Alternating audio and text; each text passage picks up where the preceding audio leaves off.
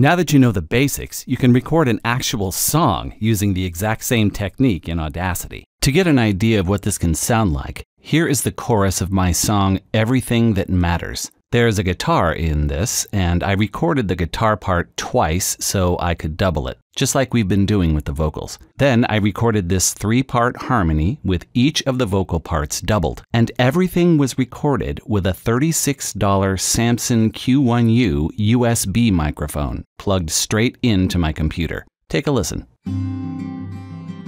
She is everything that matters now. No worry stands a chance against her smile.